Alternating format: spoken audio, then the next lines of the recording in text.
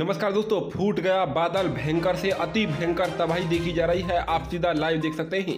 इस समय बेंगलुरु के अंदर जनजीवन बुरी तरीके से अस्त व्यस्त हो गया है।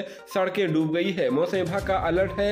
मौसम विभाग ने अगले तीन दिन तक बेंगलुरु में भारी से अत्यंत भीषण भारी बारिश का अलर्ट जारी किया है। यहाँ चारों ओर पानी ही पानी नज़र आ रहा है। भयंकर से अति भयंकर बाढ़ आ गई है। कर्नाटक की राजधानी और भारत का आईटी केंद्र रहा जाने वाला बेंगलुरु बुधवार शाम को भारी बारिश से एक बार फिर पानी पानी हो गया है। शहर, पूर्वी, दक्षिण और केंद्रीय हिस्सों में भारी बारिश से बुरा हाल हो गया है। आईटी जोन कहे जाने वाले बेलंदूर में भी भारी से अत्यंत भारी बारिश का असर दिख रहा है।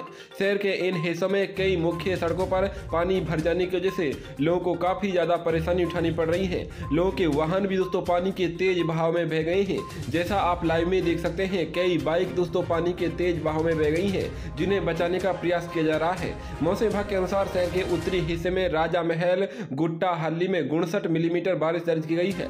मौसम कार्यालय ने भारी बारिश का संकेत देते हुए दोस्तों रेड अलर्ट जारी कर दिया है और कहा है कि ऐसी स्थिति अगले तीन दिनों तक जारी रह सकती है। शाम सात बजे के करीब शुरू हुई भारी बारिश के बाद ऑफ़िस से घर जा रहे कई लोगों को बचने के लिए मेट्रो स्टेशनों की शरण लेनी पड़ी है।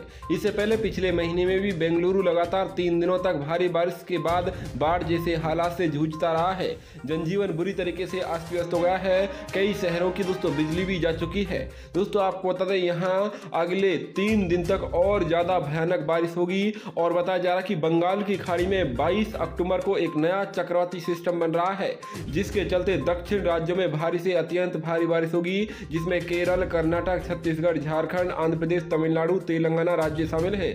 इन राज्यों में दोस्तों, अगले चार पाँच दिन भयंकर से अति भयंकर बारिश भी देखी जा सकती है, लेकिन बेंगलुरु के लिए तीन दिन का रेड अलर्ट जारी कर दिया है।